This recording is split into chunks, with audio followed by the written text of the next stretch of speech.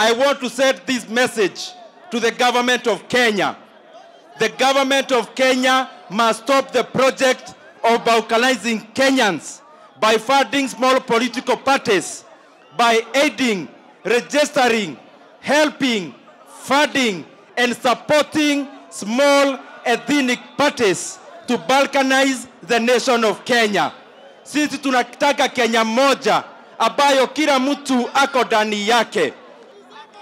The law must always apply equally to all the people of Kenya.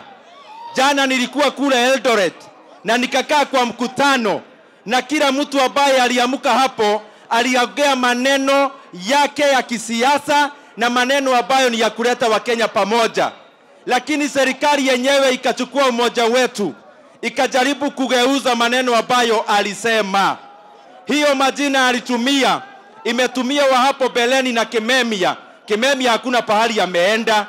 Nimeona yule leader wa mpinzani akiambia vijana wachukue guns, sijui ni ya kufanya nini kule Nyandarua siku ingine. Hakuna kitu alifanywa. Kuna mzee ambaye anavaa nyororo alisema William Ruto hata kuwa katika hii mwaka wa uchaguzi.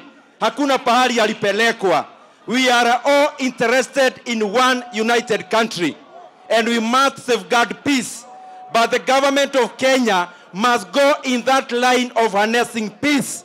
Waache kugawanya wa kenya kwa ukabila na kusaidia political parties ambazo wao wanapea fedha ya serikali ya kugawanya wa kenya kwa msingi wa, wa kikabila.